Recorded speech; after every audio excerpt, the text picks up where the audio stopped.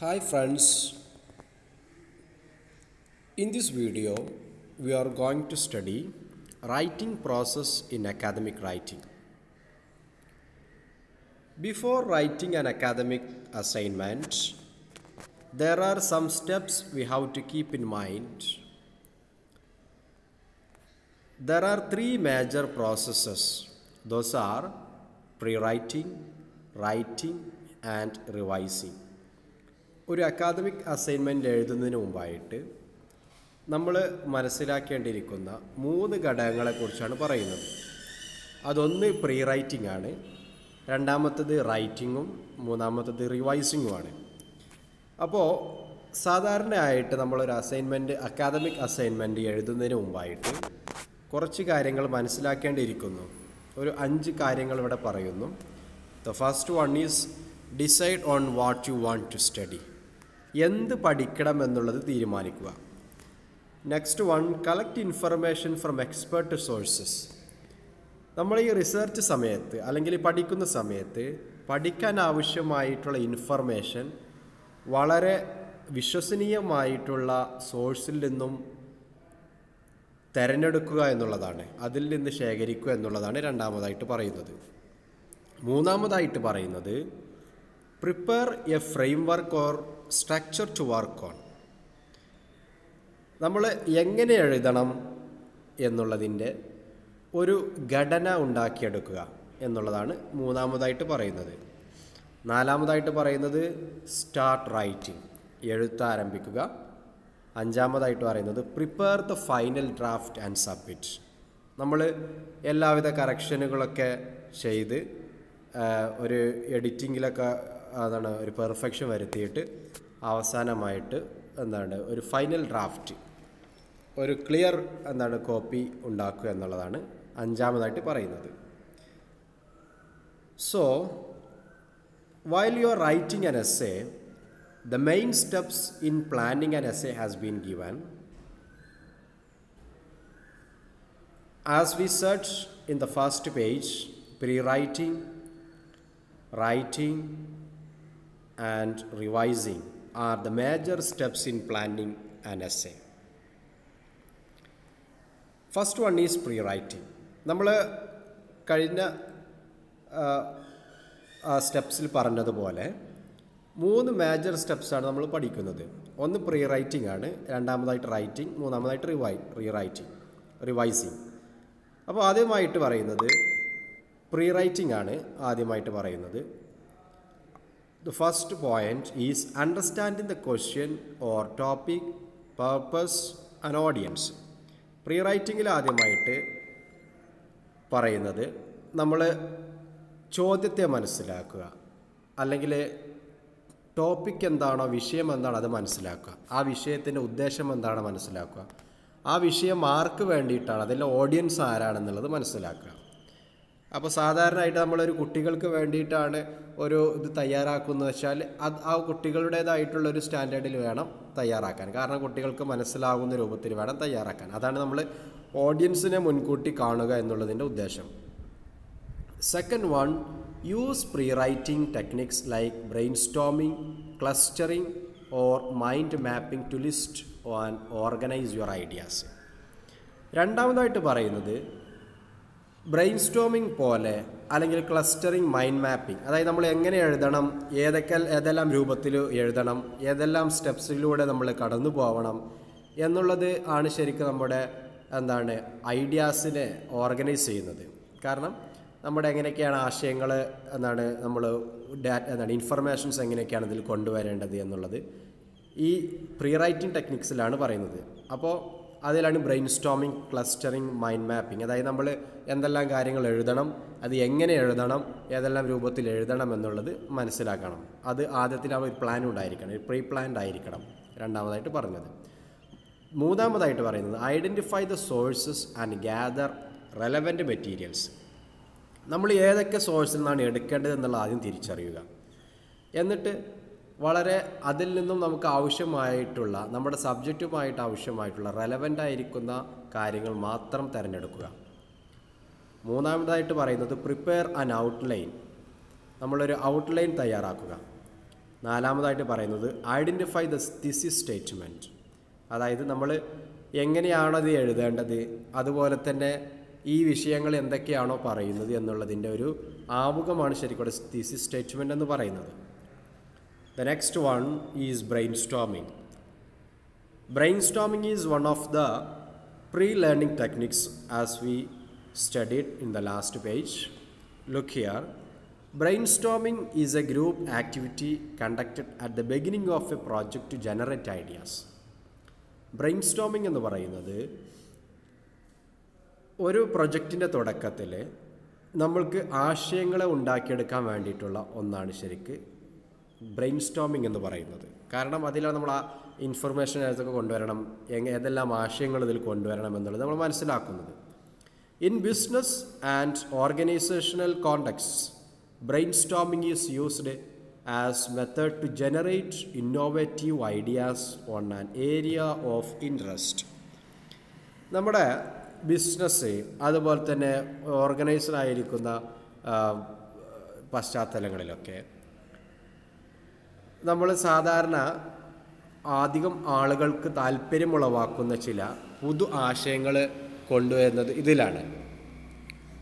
The third one before you start writing it is essential for you to gather ideas മൂന്നാമതായിട്ട് പറയുന്നത് നമ്മൾ എഴുത്ത് തുടങ്ങുന്നതിന് മുമ്പായിട്ട് നമ്മുടെ ആശയങ്ങൾ ഒരുമിച്ച് കൊണ്ടുവരിക എന്നുള്ളത് വളരെ അത്യാവശ്യമായിട്ടുള്ള ഘടകമാണ്. ഇതൊക്കെ ബ്രെയിൻ സ്റ്റോമിങ്ങിൽ വരുന്നതാണ്. അപ്പോൾ ചുരുക്കി പറഞ്ഞാൽ ബ്രെയിൻ സ്റ്റോമിങ്ങിൽ നമ്മൾ എന്താണ് എഴുതാൻ പോകുന്നത് എന്നതിന്റെ ഒരു ആശയങ്ങൾ നമുക്കുണ്ടായിരിക്കണം. ശരിക്കും അങ്ങനത്തെ ഒരു റോഡ് മാപ്പ് നമ്മൾക്ക് വളരെ മൈൻഡ് മാപ്പ് ഉണ്ടായിരിക്കേണ്ടത് അത്യാവശ്യമാണ്. The next one is main steps in planning an essay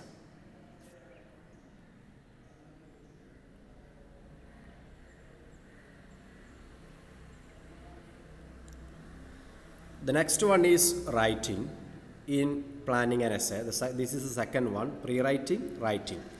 Pre-writing we studied and we are going to study writing. Frame the thesis statement and list the main points. നമ്മൾ എഴുതുന്നതിന് മുമ്പായിട്ട് നമ്മുടെ തെസിസ് statement ആദ്യം ഉണ്ടാക്കിയെടുക്കണം എന്നിട്ട് അതിൽ പ്രധാനമായിട്ട് പറയുന്ന മെയിൻ പോയിന്റ്സ് അതായത് നമ്മളെ കീവേഡ്സ് എന്നൊക്കെ പറയും അത് നമ്മൾ കൊണ്ടുവരണം next one draft the introductory paragraph നമ്മൾ ആ വിഷയത്തിന്റെ തുടക്കം നമ്മൾ അതിൽ ഉണ്ടായി ഉണ്ടായിരിക്കുക അതായത് ആമുഖം ഉണ്ടായിരിക്കുക എന്നുള്ളത് the next one draft each body paragraph with supporting point substitution and transition ഓരോ പാരഗ്രാഫും ആധാരമായിട്ടുള്ള ചില പോയിന്റുകൾ അതിന്റെ സബ്സ്റ്റിറ്റ്യൂഷൻ ആൻഡ് ട്രാൻസിഷൻ അതിന്റെ മാറ്റങ്ങൾ ഇതൊക്കെ വളരെ ഘട്ടം ഘട്ടമായിട്ട് നമ്മൾ ചെയ്യേണ്ടിയിരിക്കുന്നു. Next one is draft the concluding paragraph concluding paragraph നമ്മൾ ഉണ്ടാക്കിയെടുക്കുന്നത്. അതിന്റെ ഒരു നിഗമനം ഈ വിഷയം ഇത്രത്തോളം എങ്ങനെയാണ് പറഞ്ഞത് എന്നുള്ളത് എങ്ങനെയാണ് എന്നുള്ളതിന്റെ സ്വഭാവം വളരെ ചുരുങ്ങിയ രൂപത്തിൽ പറയുന്നതാണ്. ഡ്രാഫ്റ്റ് ദ കൺക്ലൂഡിംഗ് പാരഗ്രാഫ് എന്ന് പറയുന്നത്. The next one is revising edit and revise your essay check for inconsistencies tune use of taboo words expressions grammar spelling punctuation and referencing റിവൈസിങ്ങിൽ പറയുന്നത് നമ്മൾ ഒരു റീ റീഡിങ് നടത്തിയിട്ട് അതിനെ എന്താണ് തെറ്റുള്ള ഭാഗങ്ങളൊക്കെ കറക്റ്റ് ചെയ്യുക എന്നുള്ളത് എഡിറ്റ് ചെയ്യുക എന്നുള്ളതാണ്. പ്രധാനമായിട്ടും ഒരു ശരിയല്ലാത്ത ചില ഭാഗങ്ങൾ അതുപോലെ നമുക്ക് അതിന്റെ ഒരു പെർഫെക്ഷൻ തോന്നാത്ത ചില ഭാഗങ്ങൾ അതുപോലെ തന്നെ ട്യൂണ് അതിന്റെ യൂസ് ഓഫ് ടാബു വേർഡ്സ് അതായത് ടാബു ആയിട്ടുള്ള പദങ്ങളുടെ ഉപയോഗം അതുപോലെ തന്നെ എക്സ്പ്രഷൻസ് ചില ഉപയോഗങ്ങൾ അതുപോലെ തന്നെ grammatical mistakes spelling mistake punctuation mistake അതുപോലെ തന്നെ റെഫറൻസ് വിഷയസംബന്ധിയായിട്ടുള്ള ചില പ്രശ്നങ്ങളൊക്കെ ഉണ്ടാകുമ്പോൾ. അപ്പോൾ ഈ വിഷയത്തിനാണ് റിവൈസിങ് എന്ന് പറയുന്നത്. ഇതൊക്കെ നമ്മൾ റിവൈസ് ചെയ്തിട്ട് എഡിറ്റ് ചെയ്തിട്ട് വേണം നമ്മൾ അതിന്റെ ഫൈനൽ ഡ്രാഫ്റ്റ് സബ്മിറ്റ് ചെയ്യാൻ. The next one importance of audience analysis in academic writing academic റൈറ്റിങ്ങിനെ സംബന്ധിച്ചിടത്തോളം ഓഡിയൻസ് വളരെ പ്രധാനപ്പെട്ടതാണ്. അപ്പോൾ അതുകൊണ്ട് തന്നെ ഓഡിയൻസ് അനാലിസിസിന്റെ പ്രാധാന്യം നമ്മൾ മനസ്സിലാക്കേണ്ടിയിരിക്കുന്നു. Audience analysis is an important prerequisite for effective communication വളരെ ഫലവത്തായിട്ടുള്ള ഒരു കമ്മ്യൂണിക്കേഷന്റെ കമ്മ്യൂണിക്കേഷന് വേണ്ടിയിട്ട് ആശയവിനിമയത്തിന് വേണ്ടിയിട്ട് നമ്മൾ ഓഡിയൻസ് അനാലിസിസ് എന്ന് പറയുന്നത് ഒരു മുൻകരുതലായിട്ട് തന്നെ എടുക്കുന്നു. You need to have a clear idea about your audience ഓഡിയൻസിനെ കുറിച്ച് നമുക്ക് വ്യക്തമായിട്ടുള്ള കാഴ്ചപ്പാടുണ്ടായിരിക്കണം അതെങ്ങനെയാവണം എന്നുള്ളതിന്റെ ഒരു ഇത് നമുക്കുണ്ടായിരിക്കണം. ഓഡിയൻസിനെ മുൻകൂട്ടി കണ്ടിട്ട് വേണം നമ്മുടെ നമ്മൾ തയ്യാറാക്കുന്ന ഡ്രാഫ്റ്റിന്റെ സ്വഭാവത്തെക്കുറിച്ച് നമുക്ക് ചിന്തിക്കാൻ. Before you write ask yourself these questions എഴുതുന്നതിന് മുമ്പായിട്ട് ഈ പറയപ്പെടുന്ന ചോദ്യങ്ങൾ നിങ്ങളോട് തന്നെ ചോദിക്കണം. Who am I writing for ആർക്ക് വേണ്ടിയിട്ടാണ് നമ്മൾ എഴുതുന്നത്? What do I expect my readers to know about my topic എന്റെ ടോപ്പിക്കിനെ കുറിച്ച് എന്റെ വായനക്കാരെ എന്താ അറിയണമെന്നുള്ളത് ആണ് ഞാൻ പ്രതീക്ഷിക്കേണ്ടത്. What do I want my readers to think about my topic എന്റെ ടോപ്പിക്കിനെ കുറിച്ച് വായനക്കാരെ എന്ത് ചിന്തിക്കണമെന്നതിനെക്കുറിച്ച് നാം അറിയണം. What do my readers know about my topic നമ്മുടെ ടോപ്പിക്കിനെ കുറിച്ച് വായനക്കാർ എന്താണ് വായിക്കുന്നത് എന്നുള്ളത് മനസ്സിലാക്കണം.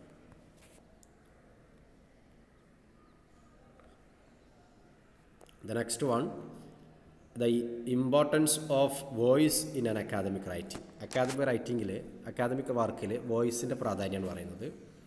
Academic writers should maintain objectivity in their approaches and perspectives നമ്മൾ എഴുതുന്ന കാര്യത്തിൽ നമ്മുടെ ഒരു ഒബ്ജക്റ്റിവിറ്റി വേണം. നമ്മൾ എഴുതുന്നത് വളരെ വസ്തുനിഷ്ഠമായിട്ട് തെളിയിക്കാൻ നമുക്ക് കഴിയണം.